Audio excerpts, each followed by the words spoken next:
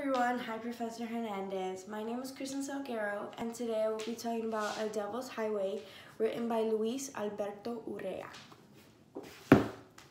In this book, we see the dehumanization of men and how they are seen as objects compared to American society today. We take a look at the desert and all its beautiful features and its treacherous um, sun and heat, and we compare it to the ICE detention centers in today's society. And finally, we confirm that the men are considered victims similar to the African American community in today's world. With these observations, we do confirm that the men are rebels as they are rejected from society. It begins with the Yuma 14. The Yuma 14 are traveling through the Mexican border through Yuma, Arizona to reach their dreams. This is Raymundo Sr. and this is Raymundo Jr., the two main characters of the Yuma 14. They are traveling through the hot sun with the heat bearing down them, which will lead to their inevitable death.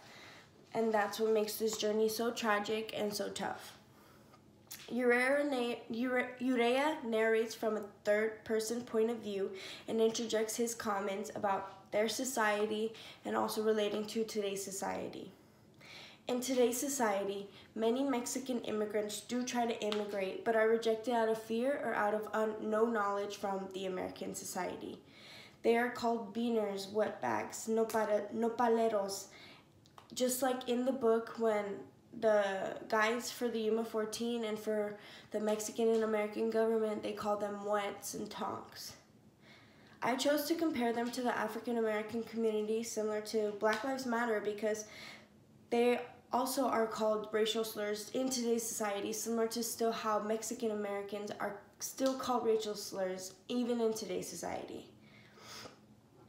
Though when either of them try to speak up, they are shut down. Like for the Black Lives Matter protest, people were trying to shut those down because they were trying to proclaim for their rights. They were trying to get some justice for themselves, but people would shut it down and they would just not let it happen, and that's not fair to them because they are people as well as the Mexican immigrants. Nobody tried to help them when they were traveling through the desert. The governments both knew how dangerous the desert would be to them, but they did not do anything to stop it, though they knew that people have died in there before. There's a quote that I found that I feel is very similar to both of their situations. It is by Helen Ubinas, and it was in her article, The Real Dirt on American Dirt. And it says, People love to give a voice to the voiceless until the voiceless demand to speak for themselves. This applies to both communities. Both were rejected because African Americans still are trying to fight for their rights to this day, and they still have not been given that right and Mexican Americans are still trying to cross over to America to make a better life for themselves, but they have not been able to. They are both are rejected and are seen as rebels because they are trying to do what American society does not want them to do for themselves. Another quote that I saw relating to the problems at the border is due to specific tragedy at the border, he demonstrates now American commerce, culture, and history create the necessary conditions for the exploitation of the Mexican Americans. This was in Sandra Cox's literary criticism. These men are trying to cross over to make that better life for themselves, just as everybody deserves the right to. Instead of being helped or instead of just being sent back for their safety, they were being exploited and they were being used as an example to show everybody else don't cross into the desert because this is what will happen to you. The men are rebels in American society and they are used as an example in this book. They are dehumanized and called racial slurs they traveled through treacherous territory similar in terror as the ICE detention centers and are victims of exploitation, exploitation just like the African Americans. I can confirm that these men are rebels because they both are not what American society depicts as their own.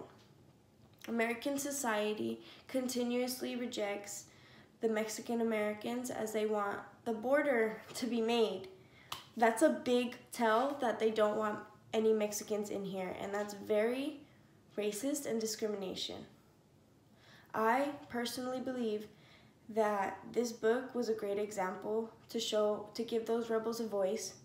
They were given a voice to the voiceless, and Urrea perfectly described what is happening and showed a light on what rebels back then and how they relate to our society today.